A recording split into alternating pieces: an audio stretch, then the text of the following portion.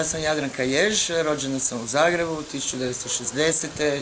Cijeli život sam bila sportašica, zaštitni sportaš grada Zagreba, zaštitna sportašica Jugoslavije, Austrije, Europe i svijeta i u današnje vrijeme doživjela sam milion nepravda u našoj lijepoj domovini, od deložacije, od prevara, od kamatarstva, od šikaniranja.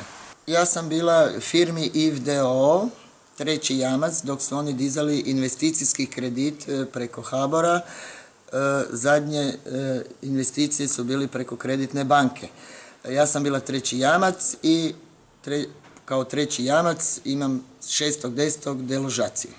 U par navrata odlazila sam u kreditnu banku, međutim u kreditni sektor, gospođa, ne znam sad je ime, direktorica pravne službe, je jednostavno rekla, gospođo, kaj vi čekate, kaj se vi s bankom niste dogovorili? To je sve, uredno me poslala van da iziđem iz banke i to je bio kraj moje priče sa kreditnom bankom moj povod što sam došla u kreditnu banku, očekivala sam nekakvu normalu, da će se pristupiti tom slučaju, da će se razmotriti, da će se izvaditi te papiri, da se vidi di su greške, zbog čega se to dolazi, međutim, nikakvog razumijevanja nisam doživjela, da pače, vrlo ružno. Da sam znala i sam taj odnos i sve kreditne banke prema osobama, jamcima i to mislim da nikad ne bi moja noga ušla u tu banku. Kad sam dobila dopis za deložaciju, onda sam shvatila da osoba kao osoba se ne mogu sama boriti protiv takvih stvari, da vjerojatno još ima jako puno ljudi u našoj državi koje banke deložiraju po čudnim okolnostima.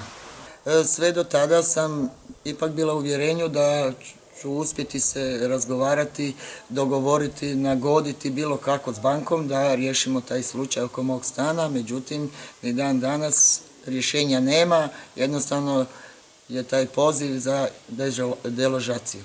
E, kad su bili izbori, gledala sam i živi zid i vidjela te različite tragedije ljudske, e, ljude kako se bore za druge ljude. Ovaj, na glasanju nisam bila jer je to bilo besmisleno u datom momentu, ali na sljedeće izbore ću sigurno ići i glasat ću za živi zid. Ministar Lalovac priča da će država pomoći ljudima koji su u tiškoćama s kreditima i to, međutim baš ne vidim da se na tom polju nešto radi. Iz dana u dan je sve više deložacija.